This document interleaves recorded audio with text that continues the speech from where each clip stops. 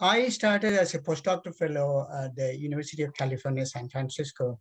So the projects I worked there uh, was uh, one of the project was on uh, breast cancer research.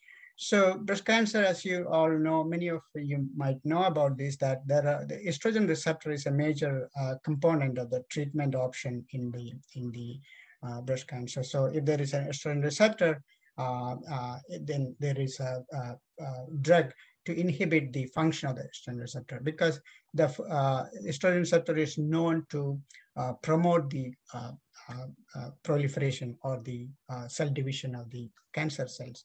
So when I started the project, I was um, working on a second type of receptor, the function of which was not known. The first one, we all know that it promotes cancer. The second receptor, which was discovered later, uh, nobody knew what's the function. So I uh, worked on it and it took a time, a while to develop uh, the systems.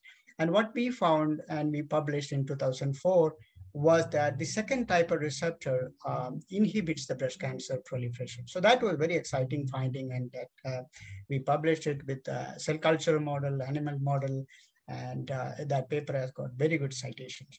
So then I moved to a company which was started in the lab based on these findings and other findings. And um, I worked in the industry for some time. Uh, and um, uh, later on, I came back to UCSF, and, and currently I'm working in UCSF uh, uh, in the cell therapy unit. So there, um, we are working on these exciting new projects.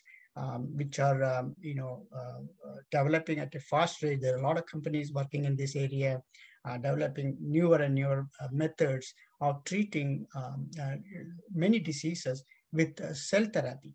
So um, uh, the, the, labs I worked were all um, leaders, pioneers in many techniques and the methodologies, and especially the current lab I'm working. Uh, the many many of these findings were discovered in the lab so that got translated to the clinic. And um, and uh, not only disease conditions like transplantation. So uh, transplantation autoimmune disorders. So um, this is a very exciting time for immune based therapies uh, in both uh, uh, cancer autoimmunology autoimmune uh, disorders and um, many other conditions.